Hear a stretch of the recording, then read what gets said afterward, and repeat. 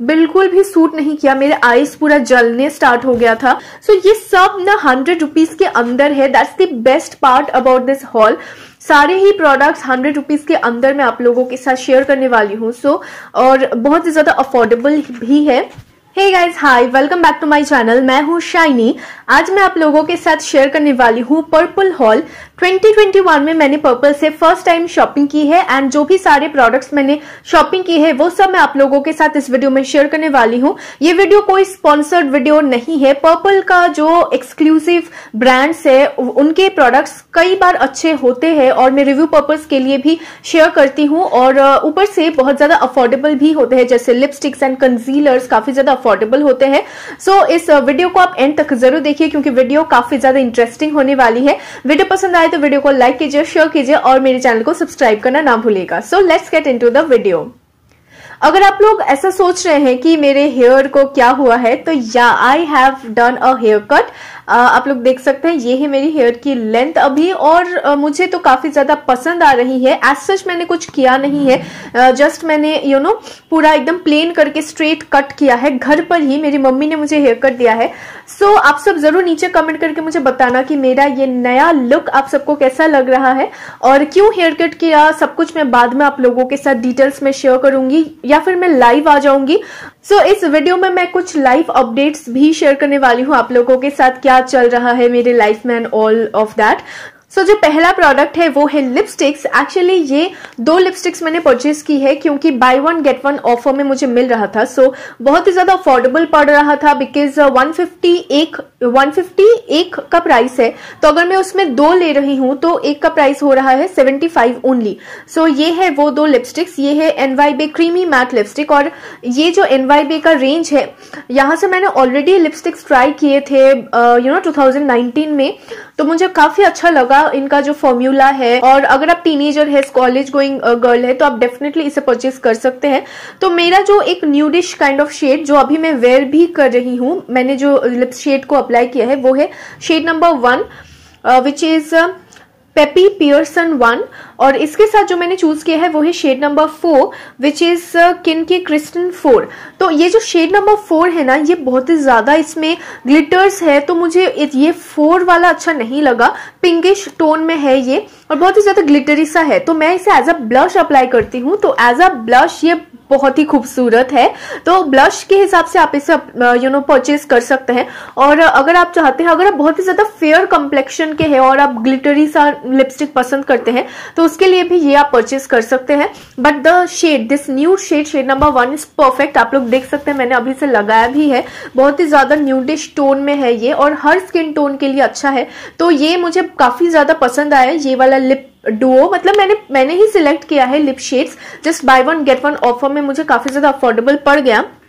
Next मैंने hair care कुछ powders खरीदे हैं। ये है एल्प्स गुडनेस का आमला पाउडर सो एल्प्स गुडनेस के काफ़ी सारे प्रोडक्ट्स काफ़ी सारे पाउडर्स मैंने ऑलरेडी ट्राई किया है। और मैं नीम पाउडर जो है, वो रेगुलर बेसिस पर इस्तेमाल भी करती हूँ एज अ फेस पैक तो ये आंवला पाउडर बहुत ही अच्छा मुझे लगा कि yeah amla is good for our hair तो शायद ये अच्छा ही होगा। दैट्स uh, वाई मैंने इसे परचेज किया है। तो नेक्स्ट है हिबिस्कस पाउडर हिबिस्कस हेयर के लिए बहुत ज़्यादा बेनिफिशियल है और अभी मैंने जब हेयर कट कराया ही है तो मैं सोच रही हूँ कि मैं एकदम प्रॉपर वे में हेयर केयर रूटीन फॉलो करूँगी। हर संडे को मैं कोई हेयर पैक अप्लाई करूँगी। ऐसा मैंने प्लान किया है अभी तक नहीं हुआ है। वन वीक हो गए हैं हेयर कट का बट अभी तक मैंने कुछ भी हेयर पर अप्लाई नहीं किया है अदर देन हेयर ऑयलिंग तो उसकी वजह से ही मैंने ये सब हेयर पाउडर्स वगैरह परचेस किया है। So this is hibiscus powder मैंने सोचा है कि मैं इन सारे पाउडर्स को मिक्स करके एक हेयर पैक बनाऊँगी डीआईवाई हेयर पैक और उसे में अप्लाई करूँगी। और मेरा जो ऑनेस्ट ओपिनियन होगा वो मैं आप लोगों के साथ शेयर करूँगी। ये जो हिबिस्कस पाउडर है ना ये as compare to other powders थोड़ा सा कॉस्टली है बट डेफिनेटली अगर hibiscus is really good for our hair next मैंने ये बर्गेंडी और इंडिगो हेयर कलर परचेस किया है। सो so, इंडिगो मुझे मुझे लगा कि इंडिगो ब्लैक कलर देगा हेयर को ग्रे हेयर्स को ब्लैक करेगा। That's why just for trying out मैंने इसे परचेज किया है। और नेक्स्ट है बर्गंडी नेचुरल हेना पाउडर इसका भी कलर मुझे ट्राई करना है कि क्या ये डेफिनेटली हेयर को बर्गंडी सा कलर दे रहा है कि नहीं? Because it is totally natural तो अगर ये दोनों काम कर गए तो बहुत ही ज़्यादा हेल्प होगी हम सबकी। सो so, मैंने इन दोनों को परचेज किया है। ओके okay, नेक्स्ट जो मैंने परचेज किया है वो आई थिंक आप सब ने गेस कर ही लिया है वो है ये वाला नीम पाउडर क्योंकि नीम मैंने ऑलरेडी बताया कि मैं डेली बेसिस पर as a face pack neem powder को इस्तेमाल करती हूँ। ये एल्स गुडनेस का नीम पाउडर है। इतना बड़ा मैंने ऑर्डर किया है ये सिर्फ़ वन टू टू मंथ्स चलेगा उसके बाद खत्म ही हो जाएगा। मतलब इतना ज़्यादा मैं इसे इस्तेमाल करती हूँ। सो so, या ये आप डेफिनेटली परचेज कर सकते हैं क्योंकि मैं इसे एक साल तो हो ही गए हैं। एल्प्स गुडनेस का नीम पाउडर ही मैं ट्राई करती हूँ और मेरी स्किन पर अच्छे से सूट भी किया है। तो आप डेफिनेटली इसे परचेस कर सकते हैं। ओके सो जो नेक्स्ट है, वो मैंने गुड वाइब्स का ये cucumber and lemon under eye serum purchase किया है। एक्चुअली uh, uh, मैंने ना इसे रिव्यू पर्पज के लिए परचेज किया है क्योंकि पहले भी मैंने इस तरीके का एक सीरम परचेज किया था same cucumber and lemon good vibes का। बिल्कुल भी सूट नहीं किया मेरे आईज पूरा जलने स्टार्ट हो गया था। लेकिन मुझे लगा कि शायद सिर्फ़ उसी प्रोडक्ट में गड़बड़ है। तो मैंने सोचा कि इसे फिर से परचेज करते हैं और देखते हैं कि इस वाले में भी क्या आईज जलते हैं या नहीं।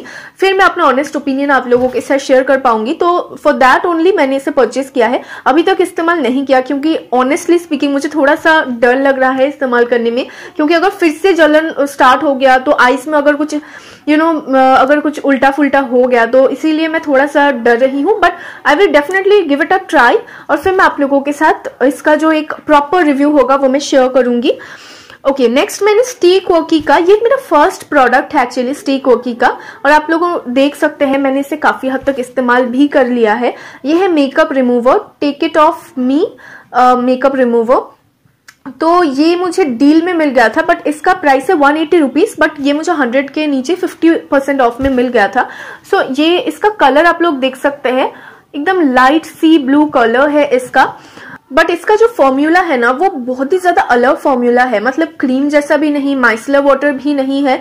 अगर आपकी स्किन ऑयली है तो शायद ये आपके लिए प्रॉब्लमेटिक होगी, क्योंकि मेरी स्किन ड्राई है। तो जब भी मैं इसे अपने मेकअप को रिमूव करती हूँ तो फेस पर एक अलग सा यू नो ऑयली सा शाइन मुझे दिखता है। तो मुझे ऐसा लगता है, मैंने पर्सनली मुझे ये फील हुआ है कि शायद ये ऑयली स्किन के लिए उतना अच्छे से वर्क नहीं करेगा। अगर आप ऑयली स्किन के हो और आपने इस प्रोडक्ट को इस्तेमाल किया है तो डेफिनेटली अपना जो रिव्यू है, वो नीचे कमेंट करके ज़रूर शेयर करें because I am from dry skin background तो मुझे तो ये अच्छा ही लगा ठीक ठाक लगा बट इससे ना वाइप करने के बाद थोड़ा सा मुझे लगता है कि हाँ फेस थोड़ा सा ऑयली ऑयली सा फील हो रहा है।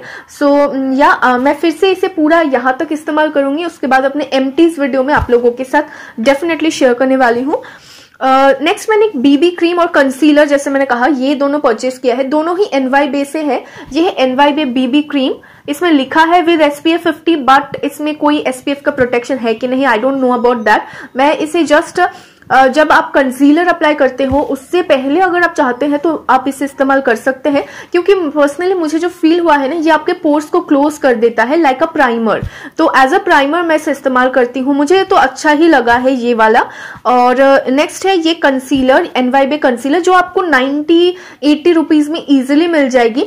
इसके काफ़ी सारे शेड्स है करेक्टर्स है तो आप इसे ट्राई कर सकते हैं। शेड उल्टा फुल्टा हो गया ना तो ये अच्छे से काम नहीं करेगा। जैसे ये वाला जो शेड है, ये शेड है ग्रैंडर देन सेंट्रल गोल्डन तो ये मेरे स्किन टोन से बहुत ही ज़्यादा डार्क है। तो मैं इसे सिर्फ़ अपने अंडर आइज़ पर कभी कभार इस्तेमाल करती हूँ। तो इसी वजह से शेड पर थोड़ा सा चूजी मतलब थोड़ा सा सिलेक्ट करना ध्यान से shade so yeah that's it for today's video I hope ये हॉल वीडियो आप सबको अच्छा लगा। और आजकल ना मैं, मैंने कहा था कि मैं लाइव अपडेट्स दूँगी। एक्चुअली आजकल मैं बहुत बिज़ी हूँ। थोड़ा सा मैं शिफ्ट कर रही हूँ यहाँ कभी कभी वहाँ। तो बहुत ज़्यादा मेरे स्टडीज़ रिलेटेड कुछ ज़्यादा हॉच पॉच है अभी लाइफ में। दैट्स वाई मैं रेगुलर बेसिस पर वीडियोज़ नहीं अपलोड कर पा रही हूँ। क्योंकि जब मैं ट्रैवल करती हूँ ना, उस दिन का मेरा वीडियो छूट जाता है। आई डोंट नो वाई मैं रीशेड्यूल पर वीडियोज़ नहीं कर पाती हूँ। क्योंकि हर रोज मैं वीडियोज़ अपलोड करती हूँ। तो हर रोज शूट करना मेरे लिए पॉसिबल नहीं है being a student but definitely I will be back on track again कुछ ही दिनों में मैं श्योरली हर रोज वीडियोस अपलोड करूँगी अच्छे अच्छे कंटेंट्स भी लाऊँगी क्योंकि मेरे पास काफ़ी सारे आइडियाज़ है अभी। सो uh, so, या वीडियो पसंद आए तो वीडियो को ज़रूर लाइक कीजिएगा और शेयर ज़रूर कीजिएगा और मेरे चैनल को अभी तक सब्सक्राइब नहीं किया then please do subscribe to my channel और जितने भी प्रोडक्ट्स के मैंने शेयर किए हैं सारे ही लिंक्स मैंने डिस्क्रिप्शन बॉक्स पर प्रोवाइड कर किया है आप चाहते हैं तो चेक कर सकते हैं। Bye every